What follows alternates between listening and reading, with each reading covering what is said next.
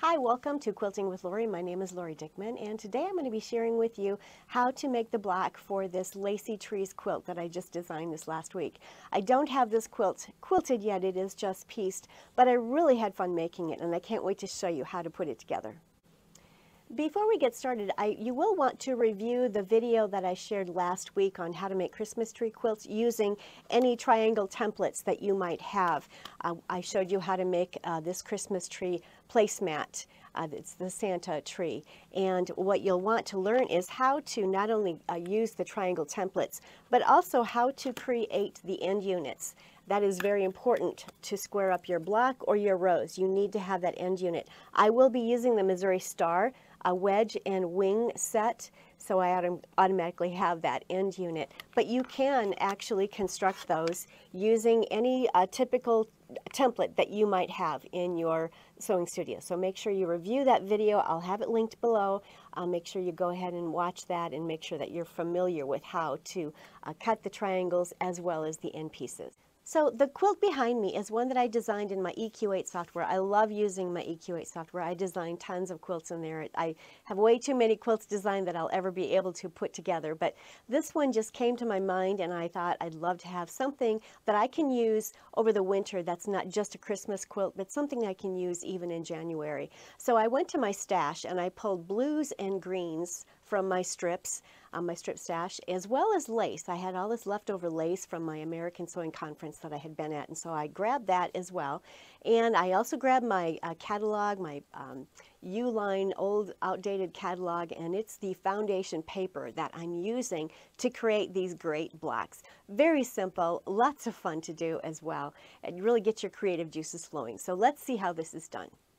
All right, so here are most of my supplies that you'll see.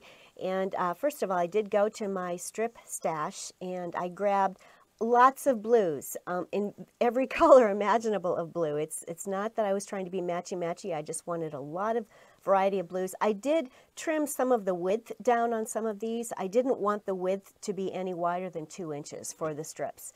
So uh, some of them are maybe three quarters of an inch, some are an inch, some are an inch and a half, and some go up as high as two inches. So those are my strips that I'm going to use. Uh, this is some of the lace. I did use white lace on the blue strips, and I used cream lace, which I have here. I used this on the green uh, trees that I created. And then this, these are some of my brown strips. I used that with a square paper for the trunks of the trees. And then this is my uh, catalog. The catalog is a large Uline catalog. It's the old outdated one. Um, it's over 10 inches tall and 8.5 inches wide, so it was quite large. I just basically ripped some pages out of it, and then I took the page to my cutting mat, grabbed my triangle, and this was the triangle that I'm using. It's the uh, Missouri Star large wedge and I simply put it on those papers and I literally cut out, I think I've got three or four of them here. I think I cut five at a time as I was working with this. So these are my foundation paper pieces that I will use with these strips to create my trees. I also cut out some two and a half inch uh, squares of the paper and I'm going to use the brown to create the trunks. And then of course I also needed my um, background fabric for the end pieces.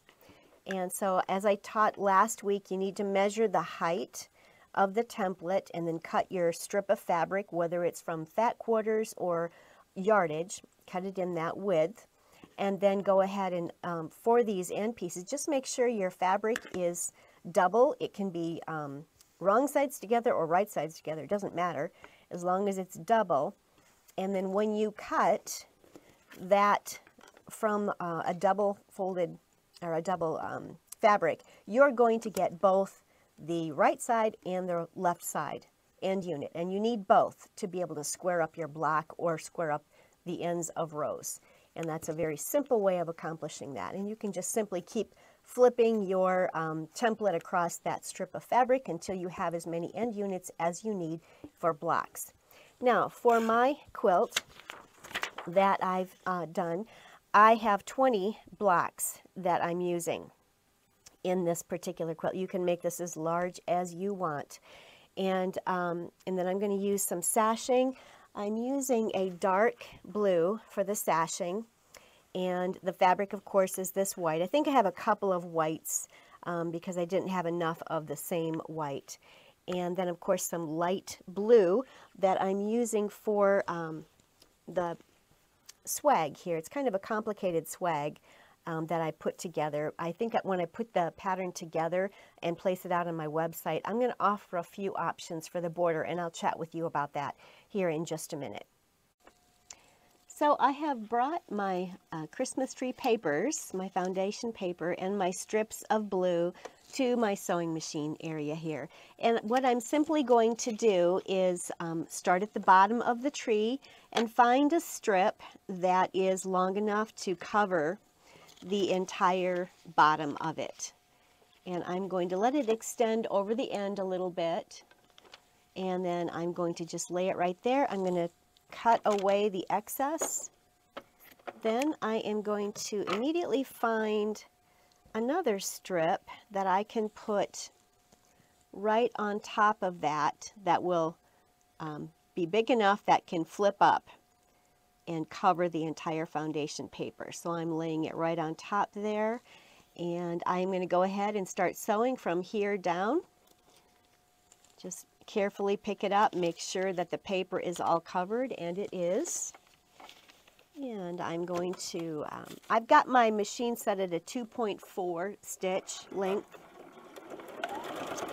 And I'm simply going to stitch across here. This is a very simple process, kind of relaxing to just have fun and start playing. And then I'm going to finger press this up. So I have a couple of strips on the tree. And now I'm going to grab something else. Here, what should we grab? Let's grab this. And it's long enough that I can put it there and it will um, cover the paper as I flip it up. Make sure that everything is pressed nicely forward. You don't want to have any creases anywhere. You want to make sure that everything is pressed down. If you're more comfortable in pressing it, you definitely need to use a dry iron, but I just like to finger press. It's quicker for me and I can get it done quicker. And here we go. So there is that. Now let's see, what can we do here? Here's a dark one. Let's add this. I'll be adding the lace here separately first thing that I do is uh, cover the tree with strips and then I'll add the lace afterwards and you'll see that here in just a minute. This is a really great way to use up fabric strips that you might have in your stash. So um, I'd recommend it. It's a great way to. And the object can be any object. These happen to be triangle trees, but you could certainly just um, strip piece squares and rectangles, whatever it is. I've been doing a lot of this with um, dryer sheets as well. And I'll be doing a video on that coming up soon. Now I have this triangle here. Um, let's see what I can come up with to finish out the top of that. We'll just use this blue right here it's wide enough that it will cover. So I'm just going to set it right like that. And I'm using about a quarter of an inch seam allowance as I'm stitching. It doesn't matter as long as you're making sure that you're covering everything. Okay, so there is my tree. Let me move this out of the way so you can see it. So my tree is stitched and you can see it back here. Now what I will do is take it over to the cutting mat with my rotary cutter and trim away all of the excess from the back. I'll lay my template on there and trim that away. Before I do that though, let's go ahead and piece or do the strip piecing for the trunk itself while I'm at the machine. So for this little two and a half inch square, I don't need much in regards to the strips. And the strips do need to be rather uh, uh, narrow. So I have three brown strips here. I'm going to do the same as I did with the tree. I'm starting at the bottom, making sure that I've covered the entire strip. Then I'm going to take my next piece, lay it on top, and I am going to stitch across there. So let me do that.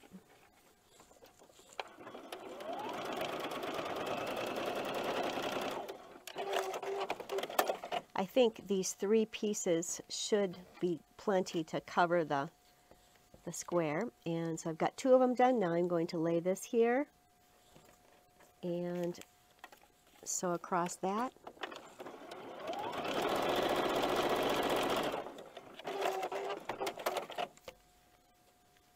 Nope, I need a little bit more. So I'm going to grab one more just to make sure that we cover everything.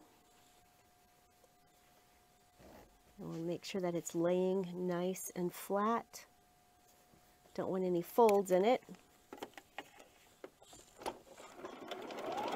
Oops, I got stuck there.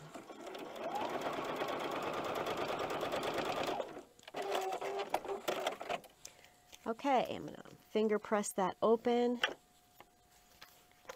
So there is my square. I'm going to take these both over to the mat and get those trimmed up so that they're even with the foundation paper. And then I'm going to show you how I put the lace on there.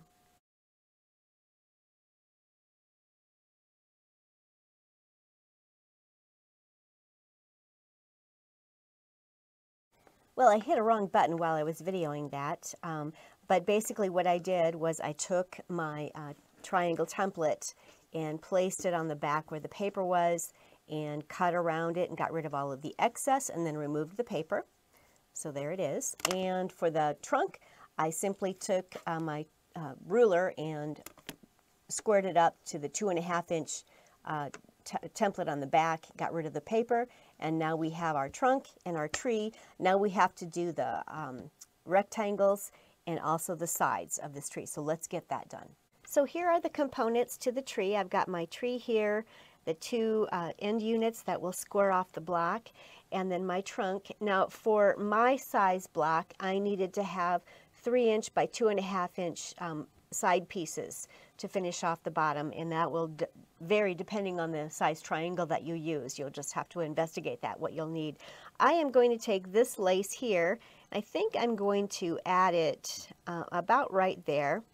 What I like to do is just uh, cut off a piece I kind of audition it and I'll take it over to my machine there. Now with this lace, um, it's a motif that I can actually cut out. And um, you can do what you want. You can add the whole thing. You can play around. I have been playing with mine and cutting out the motifs. And let me get my scissors and uh, do some of that so you can see how I accomplish that. So I'd left my scissors at my sewing machine, so I have it now. I think what I'm going to do is place the um, lace about right there. So I'm going to go ahead and just trim this away. And then I'm going to get rid of this bottom section here. And I'm not real, um, you know, fussy about it. I'm just trying to get some of that excess lace cut away so the motif is left. There we go and just kind of have fun placing it. Maybe bring it down here. What, whatever uh, suits your fancy. Just have fun with it. Experiment, play. Now what I'm going to do is take it over to the machine and I'm going to literally sew up each edge and then across and down the edge and then I will come across here and just make sure it's all uh, sewn down. And the same up here. I'll come up the side, go across, down, and I might just come straight across right at this point and these will be left loose. And that will just secure the lace on there and then I will trim it away and then we can put this all together. So let's take all of this to the sewing machine and get it put together. So here is the tree and all of its components and I'm going to be putting it together but first I'm going to secure the lace onto the tree. So let me move this camera so that you can see as I'm stitching. All right, I'm going to start with this top one here and I'm simply going to stitch up the edge across down the edge and then I'm going to simply stitch across the, the straight line there which will let the bottom of that be loose so that is now secure now we're going to stitch this one on here and I kind of like having that about right there. So that's where I'm going to place it.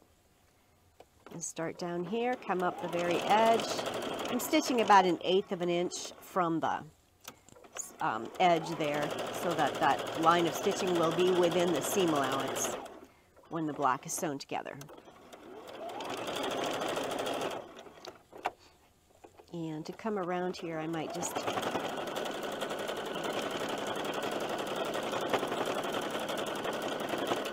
There we go. So it is now sewn very easily and I'm just going to trim away the excess lace. We don't need that in our seam allowances.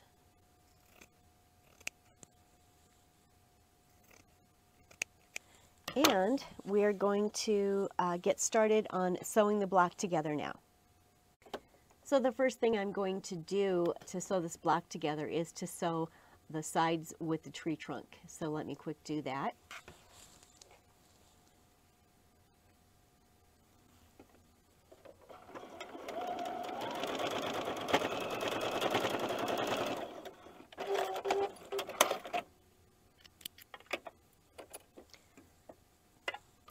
So there's one, finger press it, and then we need to add this one to the other side.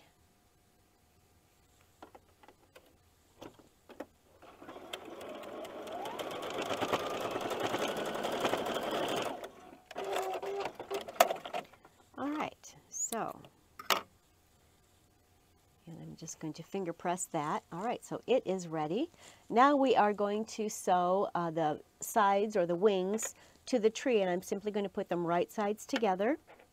And when I sew my trees, my triangles, I really like to start in the middle of the tree instead of starting at either end because it's kind of hard to start sewing when you're at a point.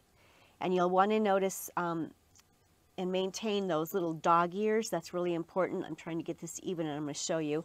So here is a dog ear that you need um, as you're starting on the one end.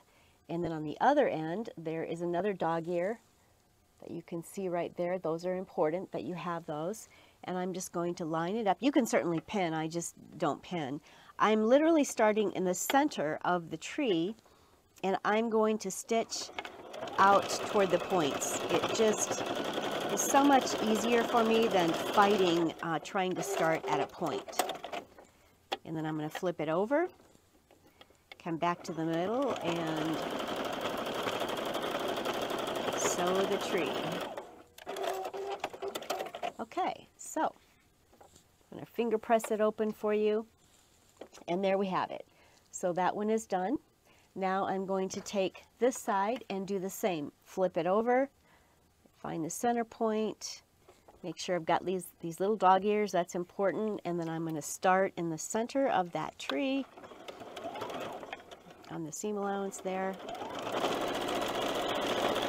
Sew down to one point, and then flip it over, begin back in the center, and sew to the other point.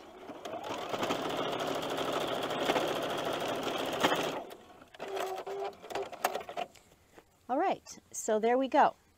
And you'll notice that we have to have our quarter inch seam allowance up at the top. That's very important. You've got to have that so that when you connect this block to a sashing or another block, you've got the seam uh, allowance available there. So I'm going to go press this open and then I'm going to uh, sew these together. I'm going to sew the trunk portion to the tree itself. But let me get this pressed properly and I'll be right back. So I've just pressed the tree and the trunk portion. Now I'm going to flip this trunk portion up and get it sewn onto the bottom of the tree there. So let me make sure it's even here across the bottom. There we go.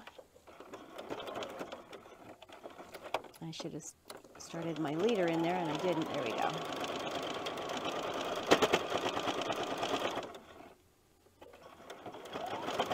Some areas my machine is going through quite a few pieces of fabric with um, a lot of those different strips so it sounds quite loud. And then I'm going to press it toward the tree. And there is the block such a simple little block. So here is my completed block and um, because I've used uh, these large templates, my block with a two and a half inch um, uh, trunk area down here measures uh, 10 and a half inches long and seven and a half inches wide. Depending on the template that you use, your tree might be a different size. And uh, that's fine. Just play with it and de decide you know, what size trunk you want to use, and um, that will determine the length here as well as the height of your trunk uh, for the tree. And then uh, for your sashings, you could simply just be cutting the sashings based on the length of your tree. I found this beautiful batik in my um, stash and it looks like it's got some frosty uh, snow on it. It's just a beautiful uh, fabric and so I'm using it for my sashing and I'm using this batik for the cornerstones as well as the outside border. And then for the uh, outside or the, the middle border, I am using a swag. And here is the one that I used for the quilt behind me. And it's a more complex swag in that there are two units to it. I did use a fusible interfacing to apply it and just a simple straight stitch around the edge for this. Um, my question to you is what um, you might be interested in for the border here. I've got a couple of options for the border. Um, I could do a simple uh, swag with it, which is just one piece, or a, a point pointed swag or uh, border, I should say. So I'm just wondering, let me know what uh, you're interested in if you'd like me to include in the pattern the complex swag, the simple swag, or the point. Um, I'm interested to hear what, your, uh, what you'd like to use for this quilt. I'm so glad that you stopped back today to hear about my lacy tree blocks and I hope that you'll all be creating them. I'd love to see pictures of them. Let me know how you're going to be using this block and I really do want to hear from my viewers on how you'd like me to write that pattern the lacy tree pattern and get it on my website. Shall I go with the complex border that you see here? Shall I go with a simple swag border or shall I go with a pointed border? Let me know your feelings on that. I'd like to be able to uh, give you what you're looking for and uh, I really appreciate your stopping back today. Thank you so much for watching my channel. If you do like what you see on my channel, please don't hesitate to like and subscribe. That really does help my channel get out to more quilters and I do appreciate that and I love to hear from my viewers. So next up on Monday, I have my block number 14, which will be my scrappy block of my 52-week series. So make sure you check back for that. I will have my holiday snowman runner that I'm going to be demoing, and I'll be doing that in a few days. So stop back for that. And also, I'm working on that uh, kimono jacket. I'm still working on that, and I can't wait to show you the next step on that. So make sure you uh, subscribe so that, or, and make sure you hit the notification button so that you get notified of all the uh, YouTubes that I'll be putting out on online. So thank you so much. Have a great week. Happy quilting, and we'll see you next week.